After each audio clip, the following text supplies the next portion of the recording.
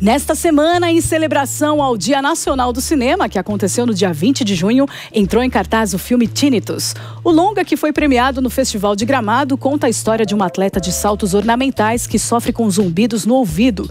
E isso dificulta sua performance no esporte. E a nossa correspondente Miriam Spritzer entrevistou o elenco dessa bela produção. Vamos conferir. Eu queria perguntar para as duas atrizes aqui um pouquinho, porque assim, é um filme que demanda muito de vocês também em sentido de atuação. Tem uma parte muito física, tem também uma parte emocional uh, bastante densa. Qual foi o maior desafio de criar a Marina e a Luísa para vocês?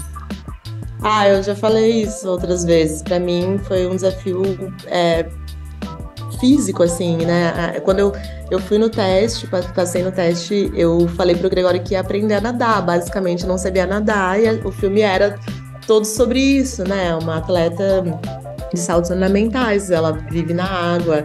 A Joana, a personagem da Joana, ainda é uma sereia, mas a Luísa precisava ter uma relação íntima com a piscina que eu não tinha. Mas eu acho que isso é uma das coisas mais lindas, assim, de ser atriz, é poder, de fato, adentrar esses universos, é poder me transformar, aprender, né, explorar, assim. Então, foi algo que me desafiou muito, a gente tinha um tempo curto, e não que hoje eu saiba nadar super bem, não é isso. Mas, de fato, eu saí de um nível zero para um nível 3, 4, assim. Então, eu já tô feliz, aprendi pouco porque a personagem exigia isso. E, e, é muito bom, né? Quando a gente pode ultrapassar os nossos limites, assim. Fora todas as questões que ela traz emocionais, como você pontuou, mas essa, sem dúvida, era, esse era o meu maior desafio. Conseguir aprender minimamente ali. É, eu, eu, eu costumo falar que são três filmes, né? Que tem a questão física da doença, que de fato, depois do filme, várias pessoas vieram conversar comigo que têm tínitos, que sofrem, e é, enfim, uma coisa que eu sabia da existência antes, mas agora tenho muito mais conhecimento, é, conheço muito mais pessoas que sofrem disso, e também em sessões comigo e com o Greg, pessoas vêm encontrar com a gente emocionadas porque sofrem dessa doença e, e, com o filme acabam por, enfim, é, quase que se abrirem, né, partilharem com a gente. É, então tem esse lado da da doença física, tem o lado da, do atletismo, da postura. A gente teve várias, enfim, aulas, treinamento de postura, de coordenação, sempre super alinhadas, mãos, pés. Nossa, a coordenação que a gente tinha que ter também foi desafiador, né, Ju? É, sincronismo, malhação. A gente tinha uma vida muito engraçada, porque a gente estava sempre em aulas de natação, aulas de sincronismo, academia, era muito engraçado. E depois também a Marina tem a questão do enfim, dessa loucura chamada apneia, curso de apneia, 5 quilos na cintura para poder afundar num tanque com tubarões, raias, tartarugas, é, nadar com, a cauda de sereia, tudo foi desafiante, né? Tudo foi difícil de fazer do ponto de vista físico. É, e tudo foi desafiante, mas é isso, que nem a Rendira falou, eu acho que a gente tá nesse trabalho porque a gente gosta de se superar, de aprender, de. E é um filme que fala sobre superação também. Então, acho que super faz sentido termos passado por momentos desafiantes que superamos com sucesso. Bom, eu acho que a, a protagonista, ela, a, a, Marina, ela sofre de uma doença é, invisível. Né? Ela acontece dentro, de, dentro do próprio corpo.